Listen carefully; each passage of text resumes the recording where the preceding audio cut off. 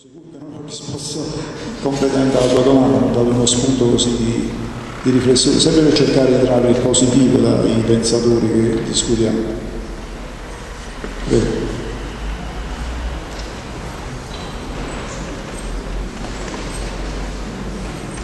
Salve.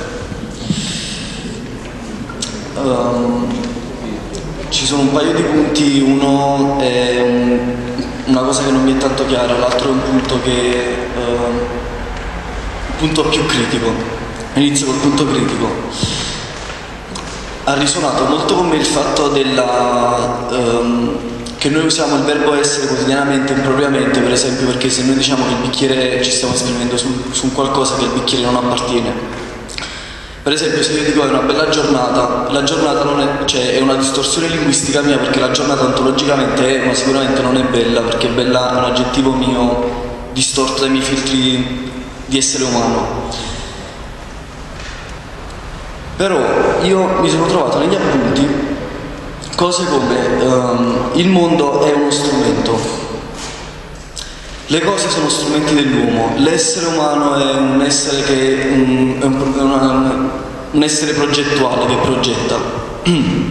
Quindi il punto che è un po' strano, che, eh, che mi è un po' strano, è che se c'è la critica a questa che, almeno come l'ho studiata io in linguistica, dalla scuola americana dei linguisti si chiama equivalenza complessa, cioè io equivalgo due cose che ontologicamente non posso dire cosa sono, io mi aspetterei da un filosofo che ehm, eliminerebbe questa, potrebbe dire solo del mondo ciò che non è ma non ciò che è.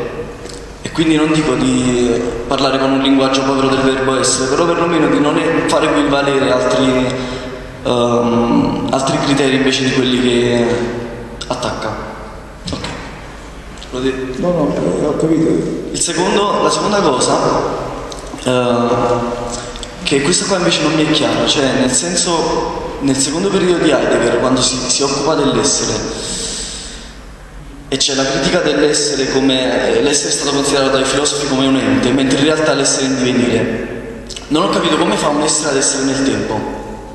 Cioè, un qualcosa che io mi immagino soggetto al tempo e soggetto a trasformazioni, quindi a mutevolezza. Eh, non- se per essere stabiliamo come significato di contesto un qualcosa che non cambia, non riesco a capire come si conciliano essere nel tempo.